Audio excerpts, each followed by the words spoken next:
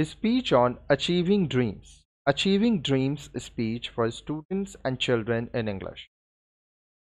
Dear audience, today I want to talk to you about achieving our dreams. We all have dreams and aspirations, but achieving them can often seem like an impossible task.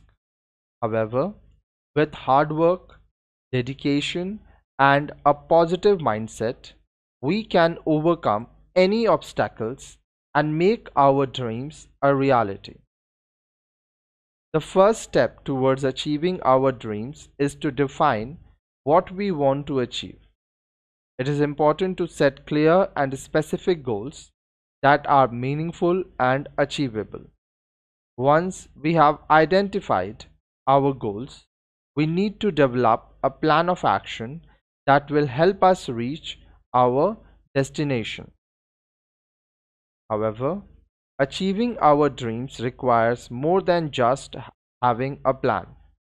It requires discipline, hard work, and perseverance.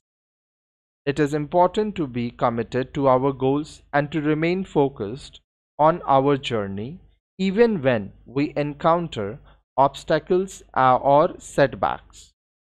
We need to be prepared to put in the time and effort required to achieve our goals and to never give up on our dreams.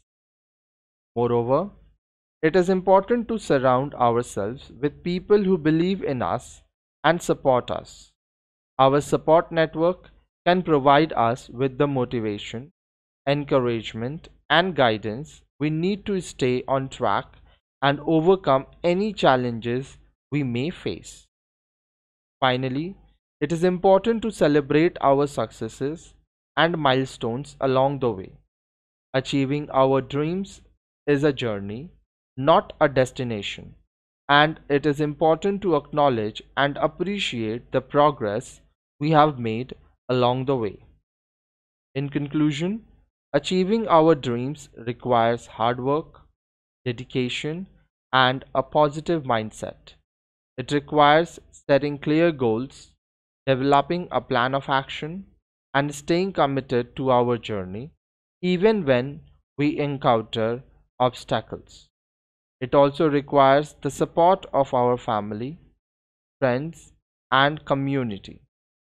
Let us all work towards achieving our dreams and making our aspirations a reality. Thank you.